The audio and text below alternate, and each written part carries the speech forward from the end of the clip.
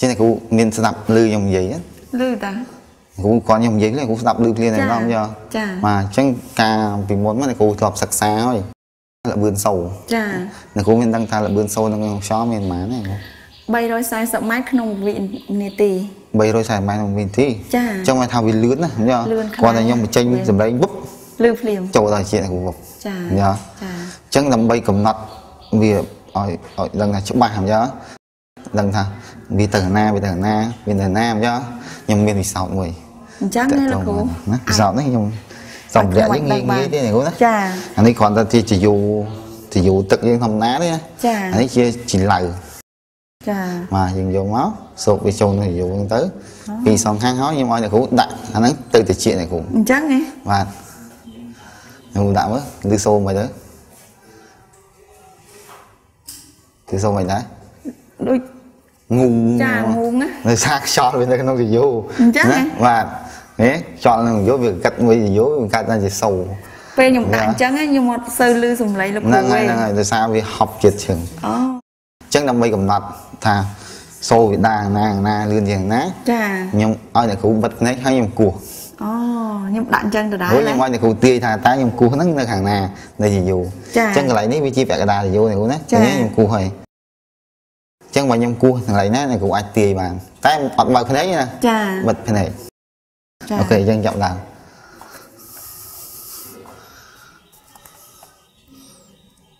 បានហើយបានហើយខាងណាអ្នកគ្រូលោកគ្រូគោះខាងស្ដាំខាងស្ដាំមកចាប្រកាសទេប្រកាសត្រូវទេណាអ្នកគ្រូលោកគ្រូគោះខាងឆ្វេងខាងឆ្វេងចាមែនទេខាងស្ដាំទេ អេខ្ញុំលឺខាងឆ្វេងអូខ្លាំងខេចាខ្ញុំលឺទាំងសងខាងលឿនសងខាងចាអញ្ចឹងចំកន្លែងណាលោកគ្រូគោះកដាលហើយអញ្ចឹងមិនគោះកណ្ដាលហ៎ចា OK ម្ដងទៀតណាចាម្ដងទៀតលោកគ្រូគោះខាងស្ដាំខាងស្ដាំចាគោះខាងស្ដាំអូគោះខាងឆ្វេង OK OK បានណាបាននេះគ្រូបាន ហ្នឹងលឺច្បាស់ល្អតាមបាទគ្រូអញ្ចឹងអ្នកគ្រូអ្នកគ្រូមានដឹងថាហេតុអ្វីអ្នកគ្រូកំណត់ល្បឿនវាបានទេគ្រូដោយសារអីអូខ្ញុំអត់ដឹងទេតែគ្រាន់ពេលលោកខ្ញុំគ្រាន់ដឹងថាសំឡេងពេលលោកគ្រូគោះខាងស្ដាំខ្ញុំលឺតែខាងស្ដាំទេមិញអ្នកគ្រូមិញយើងថាសូដាក្នុងខ្យល់340ម៉ែត្រក្នុងវិនាទីចាអញ្ចឹងចាវាលឿនណាស់គាត់ខ្ញុំគូហ្វាច់ចូលដល់ជាតិអ្នកគ្រូផ្លុកបានហើយតែខាងខាងឆ្វេងអត់មកទេពេលលោកគ្រូគោះខាងស្ដាំណាដោយសារអានេះវាមានចម្ងាយជាតិជាង អូអញ្ចឹងគ្រូណាចាចិត្តជាងអញ្ចឹងសូវាអាស្រ័យទៅនឹងចម្ងាយណាបើចម្ងាយចិត្តវាទៅអាមុនអាចិត្តមុនអាចាក្រោយអាឆ្ងាយវាទៅតាមក្រោយអូខ្យល់នៅក្នុងកំពង់នេះមែនទេបាទហ្នឹងហើយវាណាតាមខ្យល់ក្នុងចាកំពង់ណាបើលោកគ្រូគោះខាងនេះខ្យល់បាទមកនេះដើរបាទចាខ្ញុំយល់អញ្ចឹងក្នុងការកំណត់សូស្រួលងាយស្រួលអញ្ចឹងណាចា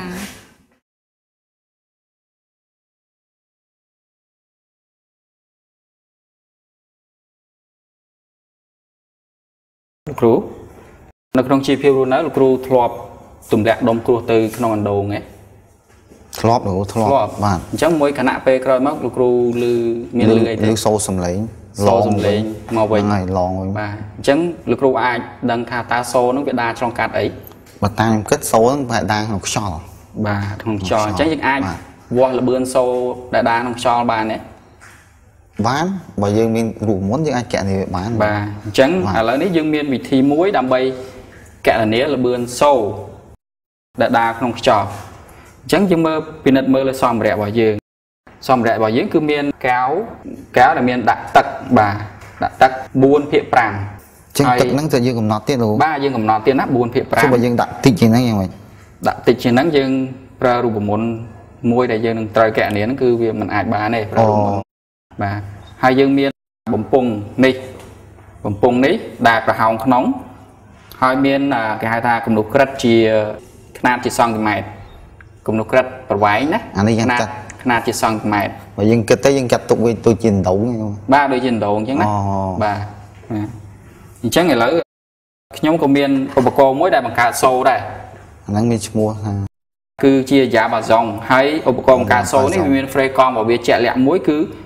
440អាប់បាទដល់ frame កង់440អាប់ទៅយើងលឺសូរវាបាទណាបាទបាទបាទអញ្ចឹងខ្ញុំចង់ឲ្យលោកគ្រូធ្វើការពិសោធន៍មើលហើយយើងគោះយ៉ាបាសុងហើយយើងដាក់បំពង់ក្នុងទឹកយើងគោះយ៉ាបាសុងមកដាក់ក្បែរបំពង់នេះហើយយើងយកត្រចៀកដាក់ស្ដាប់ហើយប្រែប្រួលកម្ពស់ហ្នឹងបាទបាទអានៅកម្ពស់ណាដែលយើងលឺសូខ្ទរមកវិញហ្នឹងឮសូរខ្លាំងល្អណាស់បាទអូលឺសូរខ្លាំងឥឡូវបាទគ្រូសាកល្បង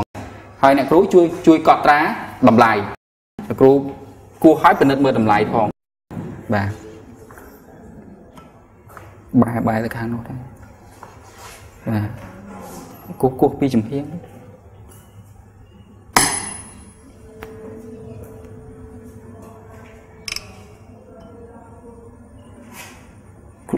បាទគ្រូអាចធ្វើច្រើនដង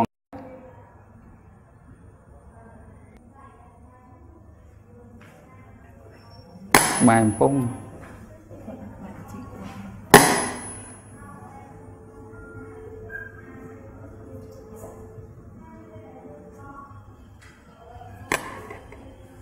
ដែលគ្រូនេះខ្ញុំគិតថានៅនេះកន្លែងនេះបាទអញ្ចឹងអ្នកគ្រូជួយអានតម្លៃមើល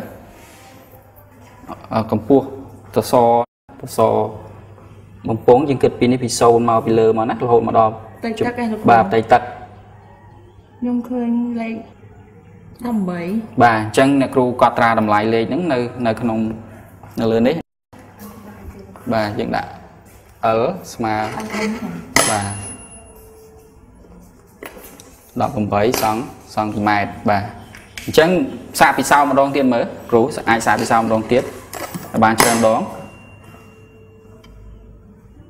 បំរែបំរួលបំពង់ថ្មីឲ្យយើងឮសូរសំឡេងខ្ទរមកវិញហ្នឹងគឺឮខ្លាំងផ្លាកមកវិញគឺលឺខ្លាំងណា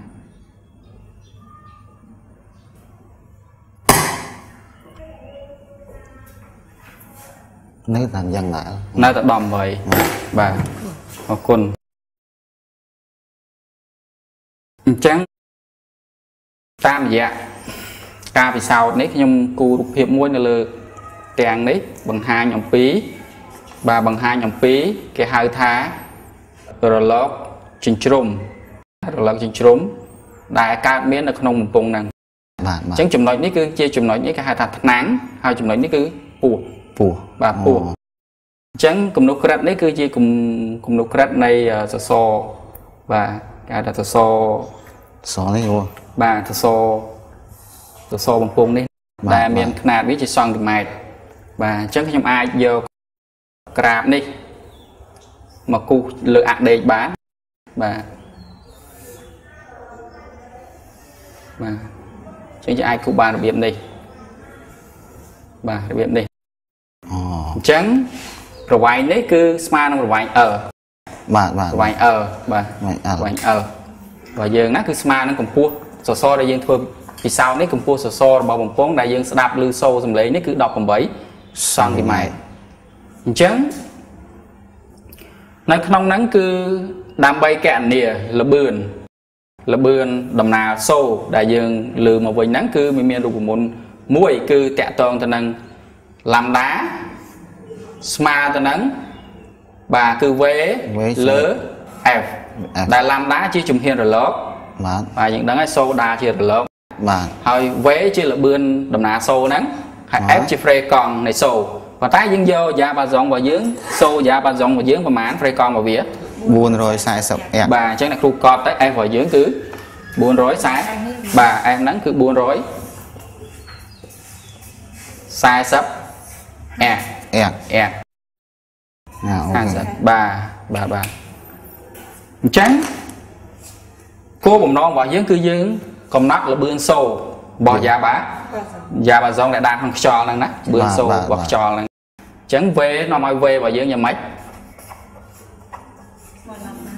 បាទនាំឲ្យវេស្មើនឹងបាទឡាំដាគុណនឹង f បាទលោកគ្រូឃើញហើយតើ អ្នកគ្រូឃើញហើយតើអាញាត់អីដែលយើងត្រូវត្រូវការរកទៀតគឺចង់រនេះនោះចង់រនេះបាទឡាំដានេះអញ្ចឹងបាទគ្រូដាក់មកឡាំដាជាជំហានជំហានរលកបាទគ្រូអាចសរសេរដាក់នេះមកឡាំដាជាជំហានរលកសេះសល់គ្រូបាទសរសេរនៅនិយាយស្មើតម្លៃលេខជាជំហានរលកស្មើជំហានរលកទៅដាក់ថាសងជំហានហ្នឹងបាទជំហានរលកជាជំហានរលកបាទ គ្រូអាចពិចារណាបានទេថាតើយើងអាចរកជំហានរលកតាមណាព្រោះនេះយើងដឹងហើយណាចាបាទយ៉ាវ៉ាសុងបកាសូវាគឺ440 A អដែលយើងអាចស្ដាប់ឮបានបាទអញ្ចឹងអលយើងដឹងតាមរយៈការពិសោធន៍បាទហើយយើងអាចកណនីតាម L នេះហ្នឹងមើលទៅបាទតាមអលនេះណាបាទបាទអញ្ចឹងក្នុងគំនូរបស់យើងគឺចេះណានេះគឺអលរបស់យើងបាទបាទអលរបស់យើងអញ្ចឹងជំហានរលករបស់យើង មាននិយមន័យវាយ៉ាងម៉េចដែរអ្វីទៅជាជំហានរលកជំហានលោកឧស្សាហ៍តែវាកំពូលកំពូលអាហ្នឹងបាទហៅគឺជំហានលោកឡាំដាគឺប្រវែងពីកម្ពូលរលកមួយទៅទៅកម្កំពូលរពូលលកលោកមួយលោកមួយបាទបាទអញ្ចឹង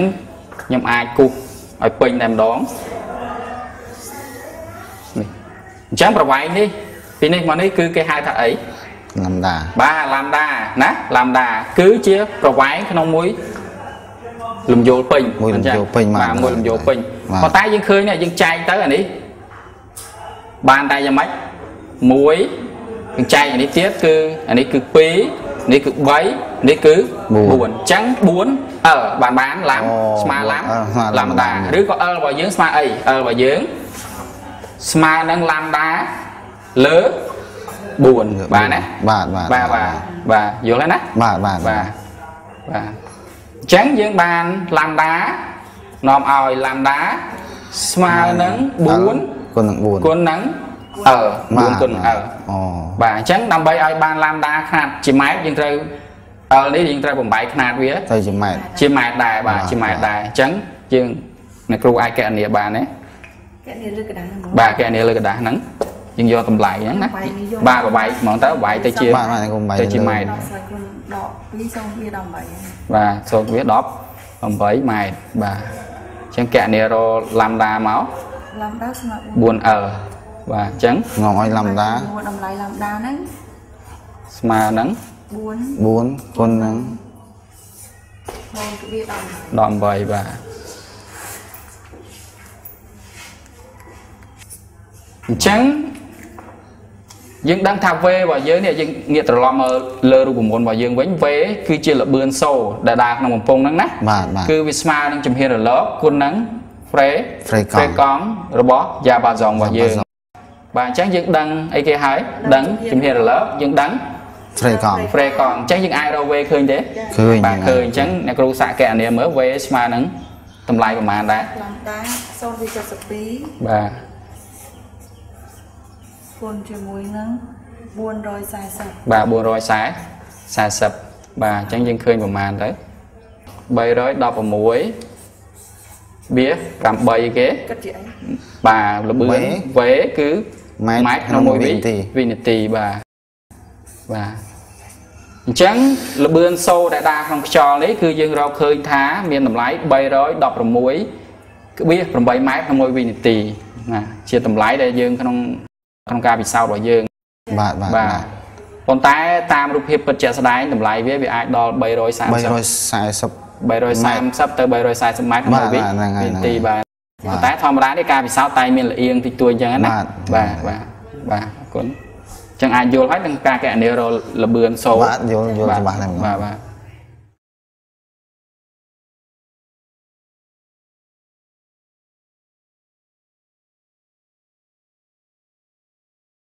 កាលពីពិសោធន៍មុនយើងបានរកលបឿនខ្យល់លបឿនសូដើរកាត់ខ្យល់បាទតែលបឿនសូហ្នឹងមានតម្លៃប៉ុន្មានបាទកាលពីពិសោធន៍មុនដែលយើងបានរកនោះយើងឃើញថាពីល្បឿនសូដាក្នុងខ្យល់គឺមាន316.8ម៉ែត្រក្នុងវិនាទី316.8ម៉ែត្រក្នុងមួយវិនាទីបាទនេះបើយើងបង្គុតទៅវាទៅជា317ម៉ែត្រក្នុងមួយវិនាទីណាបាទ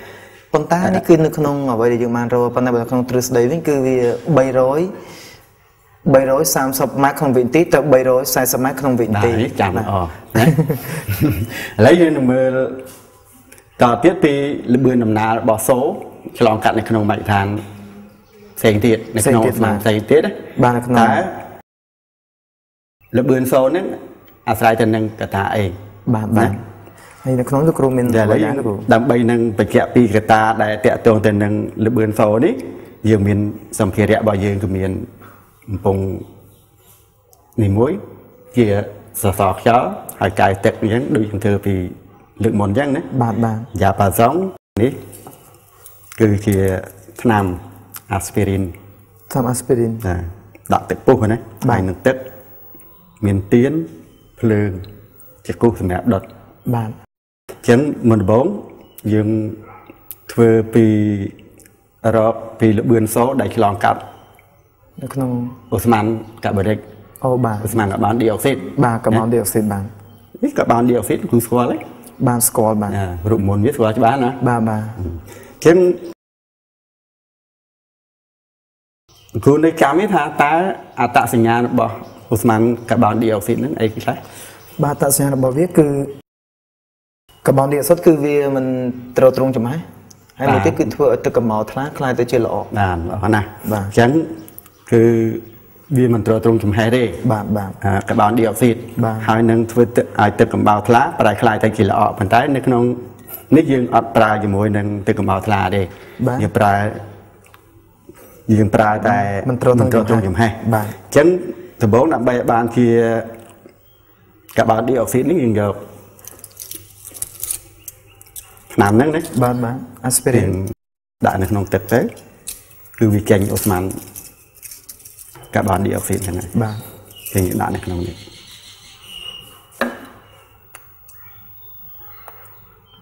យើងធ្វើបែបនេះគឺអាចបញ្ជាក់បានថាវាកើតមានកាបូនឌីអុកស៊ីតតែម្ដងបាទតែយើងអាចធ្វើយ៉ាងម៉េចដែលបញ្ជាក់ប្រាប់គេថាឲ្យវាកាន់តែច្បាស់ណាបាទយើងធ្វើចឹងយ៉ាងកណាណានេះយើងយើងឃើញមានពពុះពពុះដែលចេញមកនេះគឺជាកាបូនឌីអុកស៊ីតណាបាទបាទចឹងកាបូនឌីអុកស៊ីតធ្ងន់ជាងខ្យល់វាអត់អត់ហើរឡើងអត់ហើរឡើងមកលើអត់ហើរទេឡើងមកលើទេចឹង កើតឡើងកើតឡើងនៅក្នុងដបនឹងតែម្ដងបាទណាបាទចឹងដើម្បីឲ្យយើងចង់ដឹងថាតើអូស្មန်ដែលកើតឡើងនៅក្នុងដបនេះជាកាបូនឌីអុកស៊ីតមែនឬក៏មិនមែនយើងត្រូវធ្វើរកអត្តសញ្ញាណរបស់វាណាបាទបាទហើយធ្វើម៉េចដោយយើងដុតទៀនទៅហើយយើងចង់ដឹងថាកាលណាទៀនហ្នឹងប៉ះនៅនឹងអូស្មန်កាបូនឌីអុកស៊ីតតើ វានៅឆេះទៀតដែរឬទេបាទបាទណាអញ្ចឹងប្រសិនណាបើវានៅឆេះគឺវាមិនមែនជាកាបូនឌីអុកស៊ីតទេបាទតែបើវារលត់នោះគឺជាកាបូនឌីអុកស៊ីតបាទឌីអុកស៊ីតអូបាទអញ្ចឹងនៅក្នុងនេះមានអូស្មန်កាបូនឌីអុកស៊ីតណាបាទបាទអញ្ចឹងលោកគ្រូអញ្លុះត្រាតែវាលែងនេះលែងពុះទៅយើងទៅសាកល្បងឬក៏ប៉ុន្តែក៏វាចេញមានដែរណាអញ្ចឹងហ៎អាបាទអញ្ចឹងយើង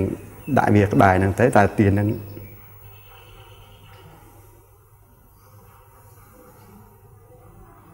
អូបាទវារលត់មែននេះបាទអញ្ចឹងមានន័យថាអូស្មန်ដែលចេញពីក្នុងនឹងមកហ្នឹងគឺជាកាបូនឌីអុកាកបូស៊ីនតឌីអុកស៊ីតបាទលោកគ្រូអាចបង្ហាញភាសាទៀតឲ្យកាន់តែច្បាស់ព្រោះដូចមើលអត់សូវច្បាស់សុំសុំម្ដងទៀតលោកគ្រូ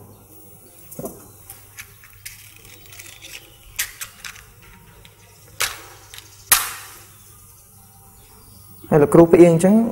ចង់បានដែរលោកគ្រូហេតុអ្វីបានលោកគ្រូចាំបាច់ផ្អៀងនេះដើម្បីឲ្យ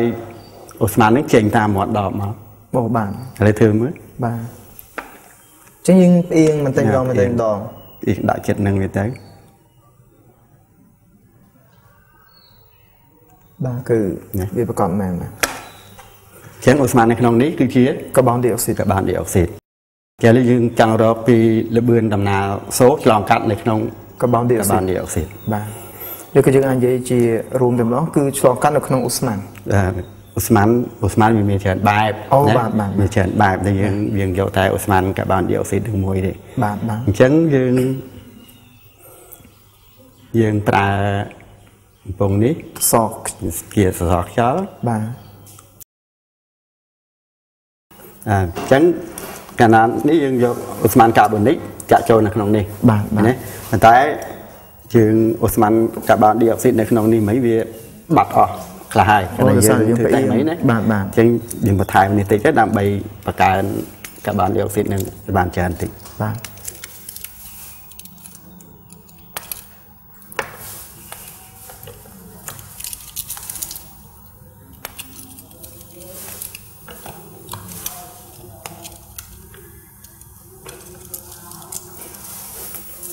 រួចទៅ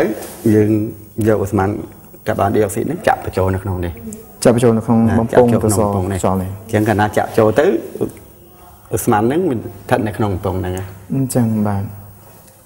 យើងចាំឲ្យវានេះសិនទៅយកគ្រឿងក៏ចាំមិនហ្នឹងបានណា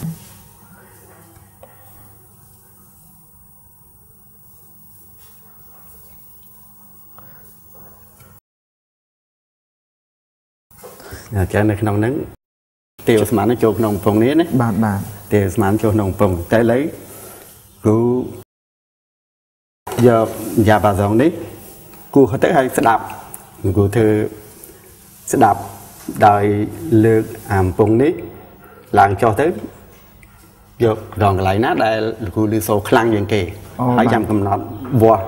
កម្ពុជាវាស់ណាវាស់កម្ពស់នេះអូនេះណាបាទបាទបាទយល់មើបាលទមើលគំនូក្រិតនៅលើកំពង់ហ្នឹងណាបាទបាទ អញ្ចឹងយើងយកយ៉ាប់ប្រសងគោះហើយយើងលើកចុះលើកចុះរំកិលដើម្បីឲ្យវាថាតើកន្លែងណាលើខ្លាំងជាងគេខ្លាំងកន្លែងគេណាយើងកំណត់យកតែបាទនឹងទុកទុកកំពង់ហ្នឹងឲ្យហ្នឹងបាទបាទ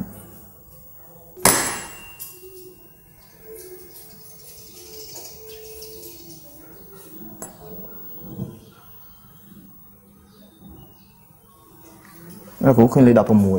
ហ៎បាទបាទ16បាននឹងគូសេនេះ16នេះគឺជាប្រវែង ប្រវែងពីទឹកនេះនេះប្រវែងប្រវែងកំពង់ណាបាទប្រវែងបាទសកំពង់ពីទឹកនេះឡើងមកដល់លើបាទបាទជាងដាក់ប្រវែងគេដាក់ស L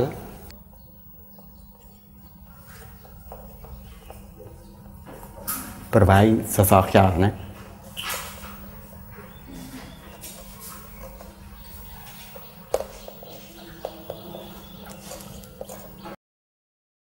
អា16សង់ទីម៉ែត្រហើយ យើងចង់រកលបឿនសូបាទយើងចង់រកលបឿនសូបាទនៅរកលបឿនសូអញ្ចឹងវាតាក់ទងទៅនឹងលបឿនសូដេកដានៅក្នុងមជ្ឈដ្ឋានផ្សេងផ្សេងៗហ្នឹងវាតាក់ទងទៅនឹងជំហានរលកតាក់ទងនឹងជំហានរលជំហានរលកកហើយអញ្ចឹងដូចជាពិសោធន៍លើកមុនអញ្ចឹងថាដល់កន្លែងខាងនេះទឹកខាងនេះមាត់ចំហអញ្ចឹងប្រវែងហ្នឹងគឺប្រវែងសសរខ្យល់ហ្នឹងគឺស្មើនឹងប៉ុន្មាន ប្រវែងសក់ខ្យល់គឺស្មើស្មើនឹង16សង់ទីម៉ែត្រអឺយើងគិតទៅជាជំហានរលកគឺស្មើនឹង1ភាគ4នៃជំហានរលកអញ្ចឹងគឺស្មើនឹងឡាំដាលើ4ណាបាទបាទយើងសេអញ្ចឹងយើងអាចសរសេរបានថា L L ស្មើនឹងស្មើនឹង lambda លើលើ4ចឹងយើងបាន L រកប្រវែង L នេះគឺស្មើនឹងប៉ុណ្ណឹងហើយយើងរកលបឿននេះបាទល្បឿនណាលបឿនដំណើរហ្នឹងគឺ V V ស្មើឡាំដា គុណឡាំនឹងដាគុណនឹង F គុណនឹង free កង់គុណនឹង F F នេះគឺផ្លេកកង់ណាបាទបាទផ្លេកកង់នេះគឺផ្លេកកង់ផ្លេកកង់របស់យ៉ាប៉ាសុងនេះនេះផ្លេកកង់របស់យ៉ាប៉ាសុងនៅពេលដែលលឺសូរគឺសសរខ្យល់នេះនេះខ្យល់ដែលធ្វើឲ្យយើងលឺសូរនេះមានផ្លេកកង់ដូចជាយ៉ាប៉ាសុងដែរអញ្ចឹងបានយើងយកផ្លេកកង់របស់សសរខ្យល់ហ្នឹងគឺស្មើនឹងផ្លេកកង់របស់ យ៉ាប៉ាសុងយ៉ាប៉ាសងអញ្ចឹងណានោះអញ្ចឹងអឺ free កង់របស់យ៉ាប៉ាសងអាផ្លេកកង់របស់យ៉ាប៉ាសុងគឺនេះគឺ440 R បាទ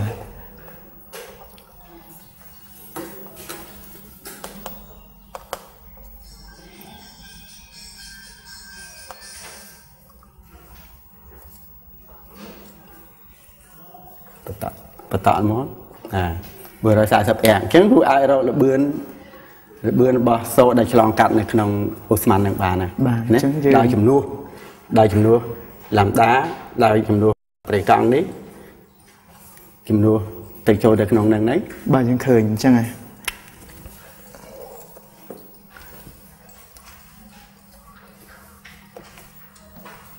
លំដាស្មើនឹង 4L តែនេះយើងអាចសរសេរបានថាឡាំដានាំស្មើនឹង 4L លំដាគឺស្មើជាមួយនឹង 4L បាទអញ្ចឹងគឺស្មើជាមួយនឹង4 4L គុណជាមួយនឹង440 amp តែ L ស្មើនឹង16សង់ទីម៉ែត្រ16សង់ទីម៉ែត្រយើងត្រូវធ្វើឲ្យវាទៅជាម៉ែត្រណាបាទបាទអញ្ចឹងវាស្មើជាមួយនឹង0.16ម៉ែត្រម៉ែត្រនាំឲ្យបាន V ស្មើនឹង4 គុណឲ្យ0.16គុណទុននឹង440ស្មើនឹងចុច60ម៉ាតក្នុង1វិនាទីម៉ែត្រក្នុងមួយវិញតែរកឃើញនេះគឺជាតម្លៃដែលយើងធ្វើតាមវិសោធន៍ណាបាទបាទឃើញ281ណាបាទចាំបាទវាធៀបទៅនឹងលបឿនខ្យល់ ខុសគ្នាច្រើនដែរលោកគ្រូធំឬតូចជាងបានវាតូចជាងតូចជាងតូចជាងលបឿនសូដានៅក្នុងខ្យល់ធម្មតាអញ្ចឹងគឺថាលបឿនសូដេដានៅក្នុងមជ្ឈដ្ឋាននេះគឺអាស្រ័យទៅនឹងអអាស្រ័យទៅនឹងកត្តាមជ្ឈដ្ឋានដំណាលណាបាទបាទបាទអញ្ចឹងនេះគឺទីទី1ហើយបន្តមកទៀតយើងចង់ដឹងថាបើសូរនេះដើរនៅក្នុងខ្យល់ក្តៅវិញបាទបើខ្យល់កើនឡើងសេតនហភាពតើលបឿនសូរ នោះមានតម្លៃយ៉ាងម៉េចដែរបាទបាទប្រែប្រួលឬទេបាទនេះដូចនឹងខ្យល់ត្រជាក់ដែរអត់បាទអញ្ចឹងនៅក្នុងនេះយើងកម្ដៅខ្យល់នេះកម្ដៅខ្យល់នៅក្នុងកំពង់ហ្នឹងឲ្យក្ដៅហើយលោកគ្រូធ្វើសោតដូចមុនអញ្ចឹងណាបាទបាទនេះដុតអញ្ចឹងយើងប្រើទៀនយើងមិញយើងប្រើទៀននេះ តែឥឡូវយើងប្រើទៀននេះដើម្បីដាក់ទៅក្នុងហ្នឹងឲ្យដែរបាទបាទ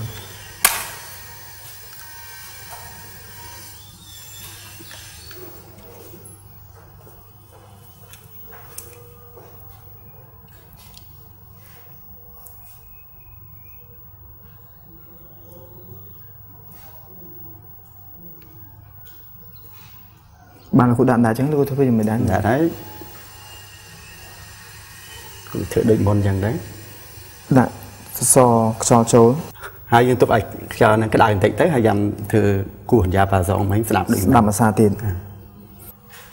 អាចបានហើយលោកគ្រូបាទបាទអញ្ចឹងធ្វើដូចមុនដែរធ្វើដូចមិញបាទ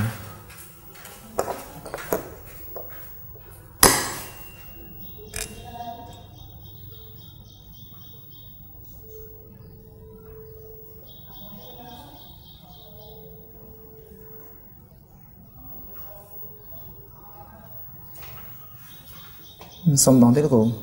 ដូចអត់សូវច្បាស់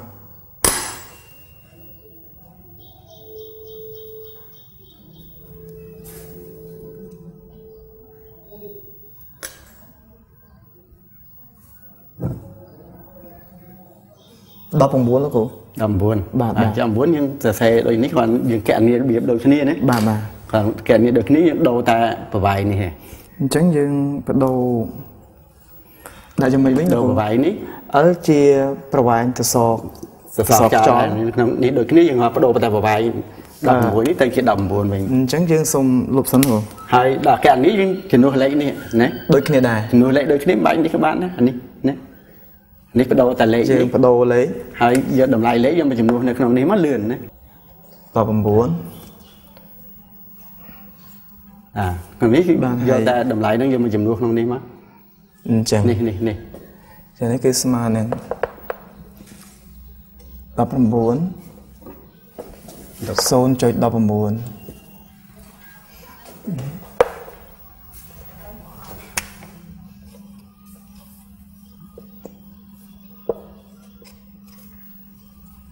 បាទយើងបានចម្លើយថ្មថ្មីលោកគ្រូគឺស្មើជាមួយនឹង334.40ម៉ែត្រក្នុងវិនាទីបាទអញ្ចឹងវាឃើញលបឿនលបឿននៃដំណើរសូរនៅក្នុងឆ្លងកាត់នៅក្នុងក្នុងខ្យល់ក្តៅ ធៀបជាមួយនឹងលបឿនដែលឆ្លងកាត់នៅក្នុងអូស្មန်កាត់បតឌីអុកស៊ីតមិញនោះគឺវាមានខុសគ្នាច្រើនខុសគ្នាច្រើនគឺធំជាងបាទគឺធំជាងធំជាងអញ្ចឹងកាលណាបាទខ្យល់កាន់តែក្តៅខ្យល់កាន់តែក្តៅខ្លាំងគឺលបឿនលំញ័រសូរនោះគឺគឺកាន់តែលឿនកាន់តែលឿនដែរបាទបាទហើយបើយើងប្រៀបធៀបជាមួយនឹង ទ្រឹស្ដីលបឿនសូដានឹងខ្យល់គឺវាខុសគ្នាបន្តិចបន្តួចខុសគ្នាបាទគឺខុសគ្នាបន្តិចខុបសន្ទួគ្នាចតាមទ្រឹស្ដីណាបាទបាទបើខុសគ្នាតាមវិស័យខុសគ្នាច្រើនបាទខុសគ្នាច្រើនខុសគ្នាច្រើនបាទបាទអញ្ចឹងយើងគិតថាតើលបឿនសូរដែលដាល់ហ្នឹងគឺអាស្រ័យទៅនឹងកត្តាអីដែលតាក់ទងដែលមានអតិពលទៅលើនឹងលបឿនសូរនោះបាទលបឿនសូដាធម្មតាគឺវាអាស្រ័យទៅនឹងកត្តាដែលមជ្ឈដ្ឋាននៃវាស្ដាណាទីមួយគឺនៅក្នុងខ្យល់ធម្មតាទៅនឹងខ្យល់ក្តៅហើយនឹងក៏អាស្រ័យទៅនឹងអីគេអូស្មန်ផងដែរបាទបាទអូស្មန်ផ្សេងផ្សេងបាទ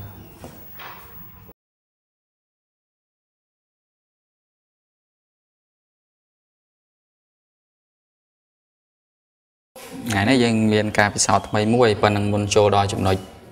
ពិសោធន៍របស់យើងខ្ញុំមានសំណួរចង់សួរអ្នកគ្រូតាក់ទងជីវភាពរស់នៅដែរចាអ្នកគ្រូធ្លាប់ផ្លុំបៃហ៎ធ្លាប់តាលេងបៃអញ្ចឹងអចាញ្ចឹងឧបករណ៍ដែលអ្នកគ្រូយកមកធ្វើហ្នឹងធ្វើរបៀបយ៉ាងម៉េចទៅជាឧបករណ៍មិនទៅខ្ញុំធ្លាប់យកស្លឹកចេកធ្វើលោកគ្រូបាទយកស្លឹកចេកហើយហើយរុំវាបាទចារុំវាទៅអាផ្នែកមួយខាងនោះតូចហើយផ្នែកទៀតឲ្យឲ្យធំធំបាទហើយពេលខ្លះរុំហ្នឹងអឺវែងពេលខ្លះរុំហ្នឹងខ្លី ហើយដល់ពេលអ្នកគ្រូផ្លុំទៅយល់យល់យ៉ាងម៉េចដែរសូរសំឡេងដែលវាមិនចេញបើបើខ្ញុំផ្លអឺមូវាឲ្យឲ្យអាផ្នែកនោះអាវែងហើយអាផ្នែកខាងមុខហ្នឹងរៀងរីកធំណាបាទសំឡេងហ្នឹងឮសូគីឡូគីឡូធំចឹចាងណាគីឡូបាទធំឲ្យខ្លាំងបាទហើយចំពោះអាដែលមានអាប្រវែងវាខ្លីហើយមុខចាវាវាវារីកតូចចាបើខ្ញុំមូអាប៉ៃស្លឹកចេកហ្នឹងវាខ្លីសំឡេងហ្នឹងឮសូស្រួយអូបាទចា អញ្ចឹងថ្ងៃនេះយើងចូលដល់ពិសោធន៍របស់យើងតាក់ទងទៅនឹងសំឡេងរបស់យើងណាចា៎សូរសំឡេងរបស់យើងអញ្ចឹងអឺយើងមានដបដបជ័រហើយយើងដាក់ទឹកក្នុងហ្នឹងណាចាបាទហើយយើងទុកកម្ពស់ទំនេរបន្តិចហើយយើងមានបំពង់ជ័រនេះហើយអ្នកគ្រូអាចយកបំពង់ជ័រហ្នឹងយកមកដាក់ចូលហើយធ្វើការផ្លុំដោយយកបាទមាត់ម្ខាងនេះ មាត់មាត់របស់អ្នកគ្រូយើងមកដាក់អឹបហើយធ្វើការផ្លុំហើយប្រែប្រួលកម្ពស់មើលតើសូរវាដូចគ្នាដែរឬទេសំឡេងដែលយើងឮណាចាតើសូរហ្នឹងមានកម្ពស់ដូចគ្នាដែរឬទេចា៎ណាបាទអញ្ចឹងអ្នកគ្រូសាកបងមើលខ្ញុំដាក់កំប៉ុងក្នុងទឹកនេះបាទដាក់កំពង់ទឹកទៅហើយខ្ញុំដកចុះឡើងដើម្បីឲ្យកម្ពស់ក្នុងទឹកហ្នឹងបាទកម្ពស់កម្ពស់សសររបស់បំពង់ហ្នឹងប្រែប្រួលហើយចា៎អ្នកគ្រូផ្លុំជានិច្ចចាបាទម្ដងម្ដងវែងម្ដងខ្លីទៅណា បាទបាទបើខ្ញុំលើកឡើងឲ្យខ្ពស់ចេះផុតពីទឹកសូហ្នឹងដូចរៀងស្រួយតូចជាងមុនណាលោកគ្រូវិញសារថ្មីមើលអ្នកគ្រូប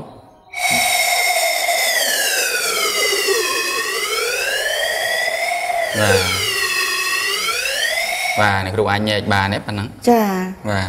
នៅពេលដែលលើកកាន់តែខ្ពស់សូហ្នឹងខ្ញុំស្ដាប់ឮទៅដូចជាកាន់តែ color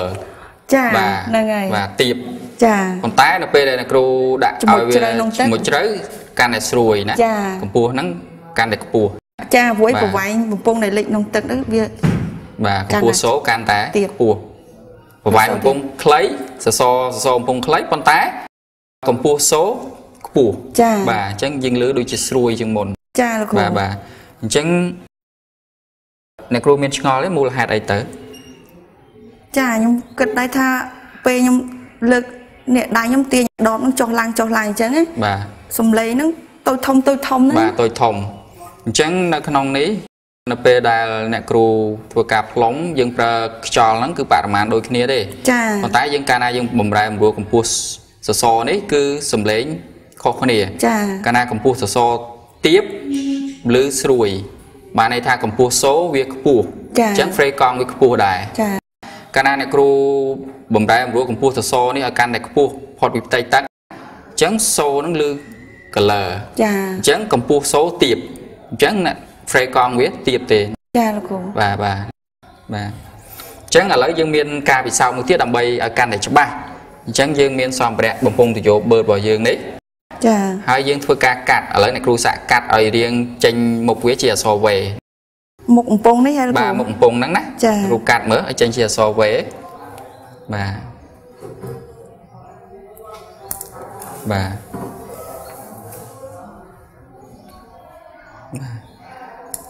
បាទខ្ញុំកាត់ឲ្យស្មើនេះទីលោកគ្រូបាទចាហើយអ្នកគ្រូសាក់ផ្លុំទៅមើលផ្លុំទាំងវែងអញ្ចឹងលោកបាទគ្រូផ្លុំនឹងវែងសិនណាចាបាទ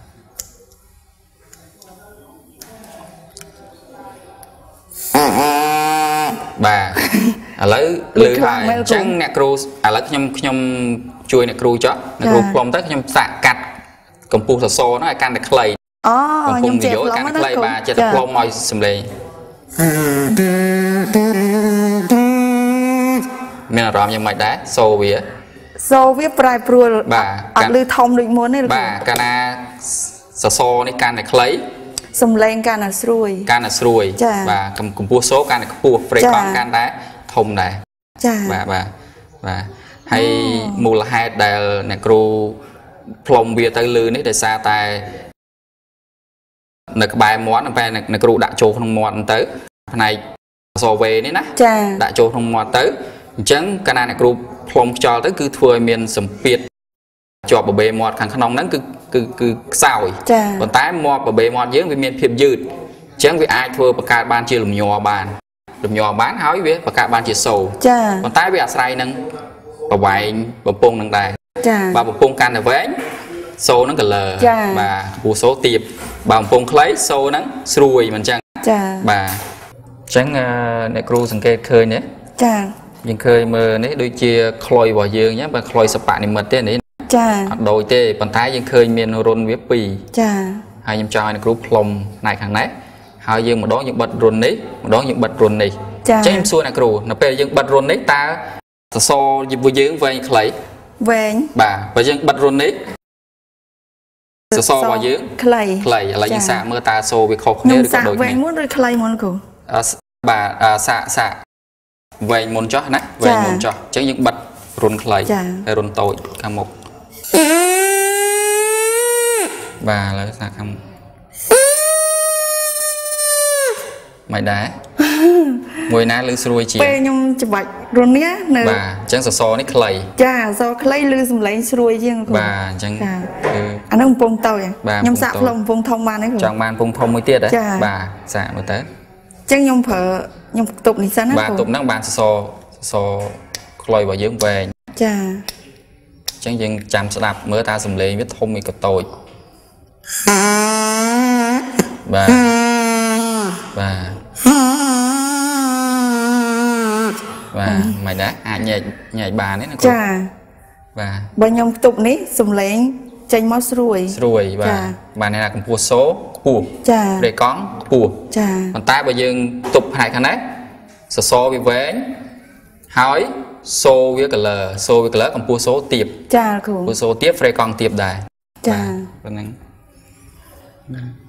យល់ច្បាស់ណា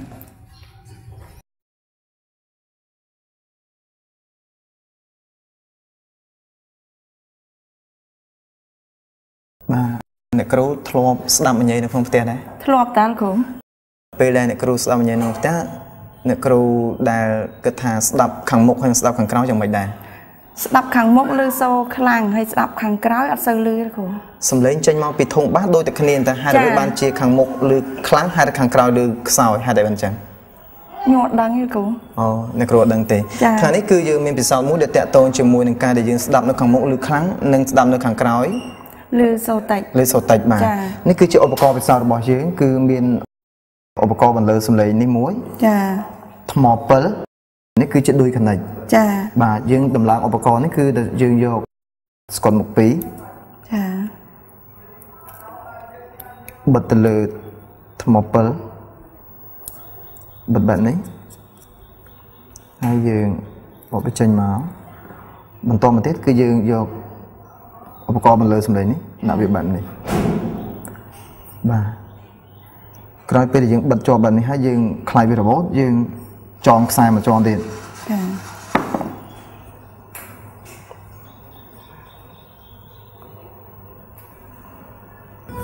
យើងចងវាជាប់តែម្ដងណាគ្រូចងវាមក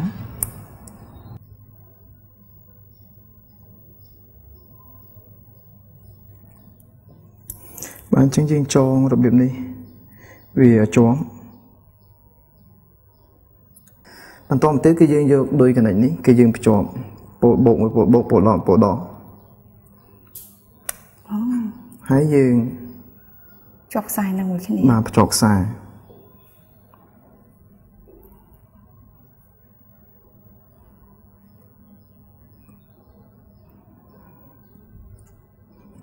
នៅពេលយើងភ្ជាប់ខ្សែម៉ាស់ទៀតគឺយើងនឹងឃើញលឺសូរសំឡេង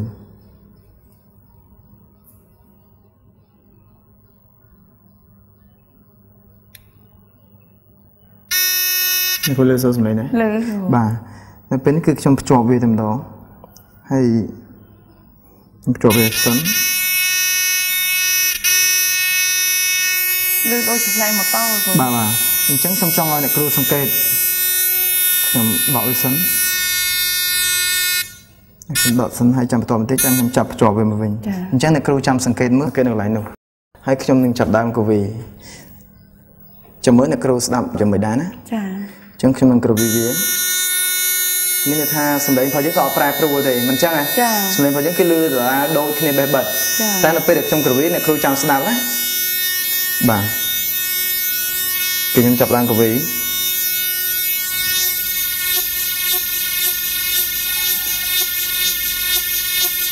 ៉ាងម៉េចដែរអ្នកគ្រូស្ដាប់បានច្បាស់ដែរបានបានប៉ុន្តែពេលអឺអត់ចាំមើលខ្ញុំគ្រូវីតទៀតសិនណាគ្រូចា លឺដូចរយយំគ្រូបាទអ្នកគ្ពេលរូនៅខាងក្រោយណាលោកគ្រូពេលឧបករណ៍ហ្នឹងទៅខាងក្រោយលោកគ្រូណាបាទខ្ញុំស្ដាប់ឮសំឡេងតិចសំឡេងខ្សោយជាង បាទបាទចា៎តទៅពេលនៅខាងមុខអ្នកគ្រូយ៉ាងម៉េចដែរឮខ្លាំងបាទអ្នកគ្រូហ្នឹងដូចជាអ្នកគ្រូស្ដាប់ទៅស្ដាប់មញ៉េអញ្ចឹងស្ដាប់មញ៉េនៅផ្ទះនៅពេលដែលអ្នកគ្រូស្ដាប់ពីមុខគឺអ្នកគ្រូឮទៅដូចជាខ្លាំងជាងហើយស្ដាប់នៅខាងក្រោយគឺខ្សោយជាងអានេះដូចគ្នាដែរ នៅពេលដែលអ្នកគ្រូមកដល់ខាងមុខគឺស្ដាប់ឮសូរខ្លាំងអានៅពេលដែលបង្វិលមកខាងមុខអញ្ចឹងស្ដាប់ឮសូរខ្លាំងចា៎ហើយនៅពេលដែលមកដល់ខាងក្រោយចេះគឺឮសូរតិចវិញឮសូរតិចក៏ប៉ុន្តែហេតុអីក៏ប៉ុន្តែគឺវាសំឡេងតែមួយទេចាគឺបំរែបំរួលរវាងកម្ពស់សូរគឺសូរសូរមួយមួយគឺវាតែងតែមានកម្ពស់របស់វាចា៎ហើយនឹងមានតុងរបស់វាមួយច្បាស់លាស់អញ្ចឹងបំរែបំរួលរវាងកម្ពស់សូរជាមួយនឹងតុងសូរនោះគឺបង្កើតបានជាផលមួយគេហៅថាផល Doppler អញ្ចឹង ការដែលអ្នកគ្រូនៅខាងក្រោយនិងនៅខាងមុខគឺដូចគ្នាក៏ប៉ុន្តែគ្រាន់តែវាបំរែបំរួលចម្ងាយចា៎នៅពេលដែលអ្នកគ្រូនៅទល់អានេះអានេះមកដល់មុខអ្នកគ្រូអញ្ចឹងឧបករណ៍សូរសំឡេងមកដល់មុខអ្នកគ្រូមានន័យថាកម្ពស់សូរវាខ្ពស់កម្ពស់សូរវាខ្ពស់បានវាគៀកអ្នកគ្រូអញ្ចឹងវាខ្ពស់ចាហើយតុងផងវានៅដដែលទេក៏ប៉ុន្តែនៅពេលដែលវាមកដល់ខាងក្រោយអញ្ចឹង នៅដល់ខាងក្រោយអញ្ចឹងមានថាកម្ពស់សូរគឺវាឆ្ងាយឆ្ងាយជាងមុនបាទហើយតុងក៏វាតូចជាងមុនដែរចា៎អញ្ចឹងកន្លែងហ្នឹងដែលធ្វើឲ្យអ្នកគ្រូស្ដាប់ឮសូរស្ដាប់ឮសូរតិចចា៎ហើយមកខាងមុខនេះគឺឮសូធ្វើរឲ្យអ្នកគ្រូស្ដាប់ឮសូរខ្លាំងចា៎បាទអញ្ចឹងយើងមានឧបករណ៍មួយទៀតដើម្បីបង្ហាញថាផល Doppler នោះវាយ៉ាងម៉េចអញ្ចឹងអ្នកគ្រូមើលនេះគឺជារសើរមួយ